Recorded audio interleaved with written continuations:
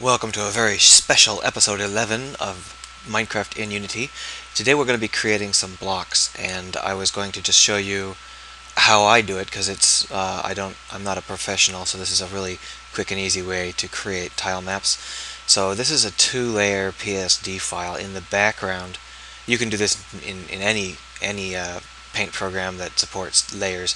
In the background I've got a grid of 64 by 64 by 64. You know, 64 by 64 and I've got, you know, 16 of them across a, 20, a, a 1024 by 1024, 16 by 16, you know, the standard. Uh, so what I do is each of these is going to be one of our bricks faces. So uh, we're going to just do the top face and the side faces as separate faces specifically so that we can have an interesting appearance. So I just highlight the one thing that I'm going to be editing uh, and then I switch over to uh, a very rough um, uh, a very rough brush like this and I just fill it in. And then I change color slightly. There you go. And that uh, that gives you a nice texture. Now the problem with doing it like this is that you end up with uh, a very tile set sort of uh, edge system. Uh, the the whole thing ends up looking very blocky, and there there are lots of ways to do that better. Um, but generally speaking, I just do a little bit of blurring, and then uh, repeat the process with a lighter color like this. And I'm going to do the same thing with the top. That is the top, rather. I'm going to do the same thing with the brick that's going to be the side, which will make the one beneath it like this. But this one, because it is vertical, I'm going to go mostly vertical.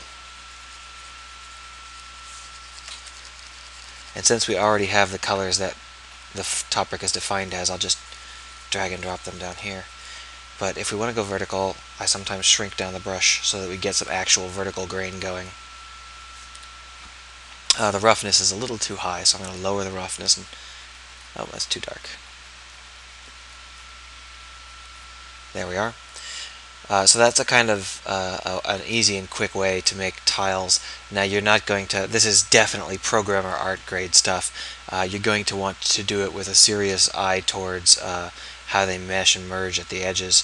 Um, more than that, I think there might be problems with bleed, uh, but we'll, we'll deal with all that crap later. For now, we're just going to go ahead and continue doing it like this. For the ice, I'm going to go ahead and just make it, I'm going to do both at once. Uh, I'm going to go ahead and fill and then modify the fill.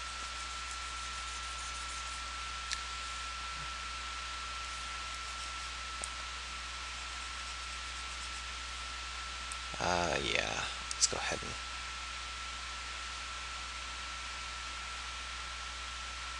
Oh, I missed it by one. What a shame. Now, there are actually dedicated, um, uh, there are many tools out there that are dedicated tile set editors. Uh, some of them are fantastic, um, but I don't happen to own any of them, uh, or have them on this computer at least, so uh, I'm just going to do it using uh, a cheap Photoshop knockoff. Uh, so that's ice, now we need some water. But you know, we do have, well, I guess I'll continue using water. Uh,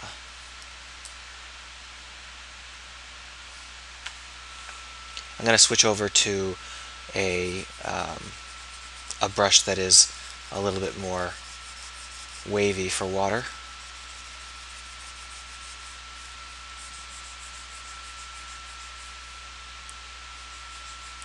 I guess I should once again just select the top brush here.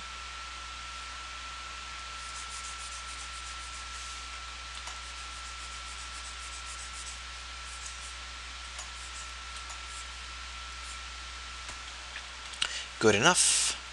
And now we're going to go ahead and, oh, that's too, I made the, uh, made the thumbnail extremely huge on accident there, uh, which made it difficult for me to see the picture, which was no good. So let's go ahead and make ourselves some sand now. Go back to the high spread, high noise uh, there we go. Go ahead and blur it down There they are. And then we'll go ahead and bring it back just a little bit. Like that. And uh, lastly, I'm going to go ahead and create uh, a, a, green, uh, a grassy dirt block, which we'll do by actually copying this block here, like this, copy, paste, and then drag it across into the proper position. And then we are going to go ahead and modify it to be green.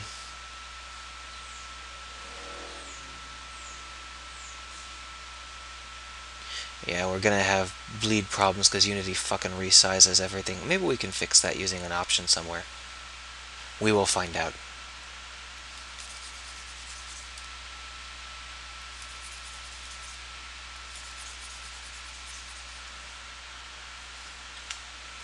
Reduce the noise.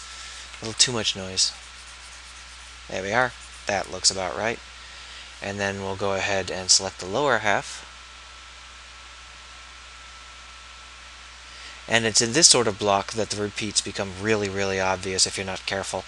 So that's why most of the time you're going to want to make this, oh, that's why most of the time you're going to want to make this as straight as possible so that you don't get a feeling that the block is repeating quite so sharply. That should do it. Alright, let's go ahead and uh, save it as PSD and then we're going to go ahead and export it as a PNG and we're going to go ahead and call this tile map. I'm not going to actually overwrite the scribble one that I made so long ago. Alright, so we've done that. Let me go back into Unity. And uh, uh, if we go into materials, we can see uh, I've changed the window size. Okay, that's fine. So we can see that here is our tile map. And you see that how we left the bricks on in the background. So we go back into here, we turn them off, and then we export it as a PNG again. That's better. So when it reloads, it comes back as oh that's oh it's interpreting the PSD. I actually didn't realize I could just read a PSD straight up. That's interesting. Well, we won't be reading the PSD straight up. We're going to be using this, which is the tile map. Uh, so if you're doing it with a PSD, like I just did, make sure you understand which of these is the PSD and which of these is the tile map.